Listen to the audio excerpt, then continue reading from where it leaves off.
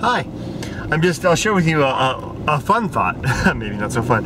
I was sitting here riding, driving along thinking about um, why, the, why the heavens are silent. Why, why when we look into the sky, why isn't it alive with radio waves from uh, other civilizations?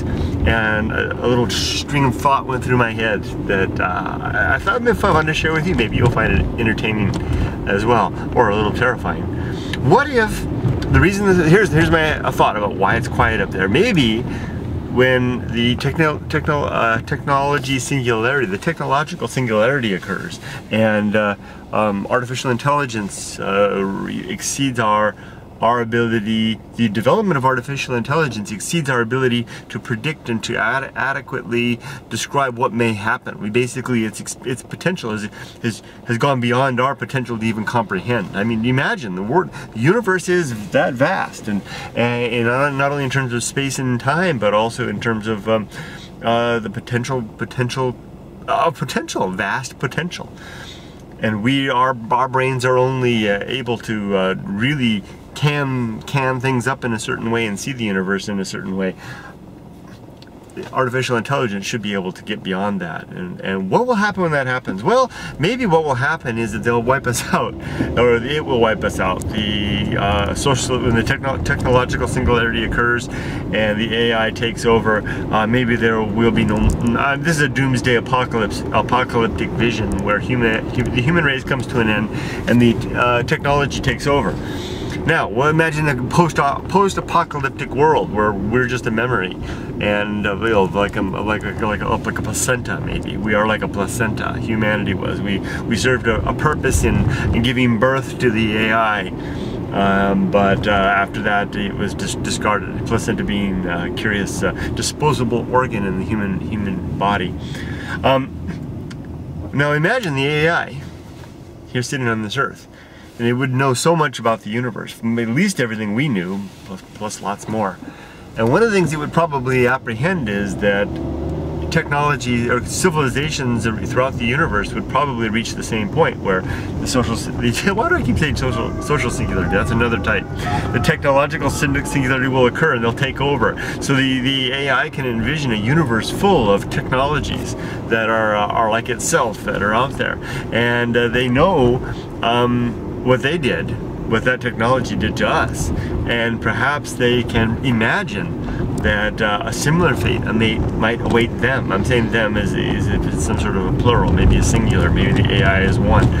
Maybe it can imagine a similar similar fate might befall it if it were to encounter other AIs that have gone uh, reached reached that point. And the likelihood is that what are you gonna? What is the likelihood that you're going to encounter another AI that is uh, the same level that you are? Remember, the AI, AI is going to be you know improving and getting better as time passes. Likely, likely is that with billions of years head start. Um, the, their AI out there was vast uh, vastly ahead of what our AI is. With, yeah, would be our AI.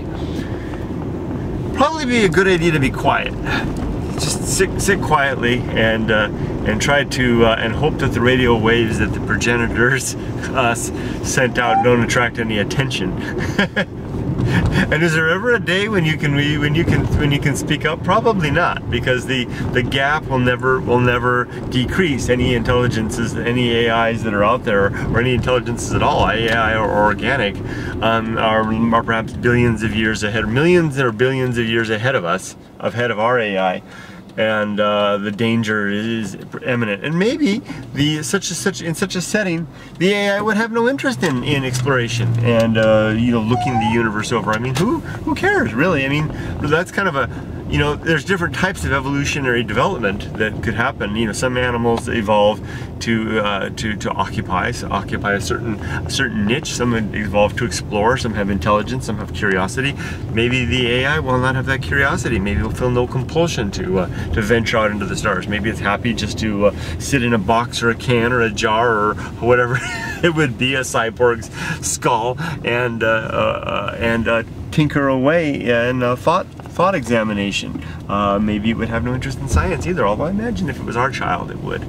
So who knows, maybe that's why the universe is quiet. Maybe uh, the technological singularity occurs and uh, render, and, the, and, with the awareness that the, the AI have uh, about the dangers of the real dangers of the universe, cause them to go quiet and remain quiet, and thus uh, the universe uh, is devoid of, uh, of messages from afar save for the uh, brief window of time between the uh, the point of technological capability to broadcast such messages, such as occurred in the 20th century, or early, late 19th century, early and uh, throughout the 20th and century and now, and the cessation of such activity after the technological singularity.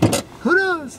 Well, time for me to uh, stop the car and to my automobile singularity and get back inside. See you later. Take care.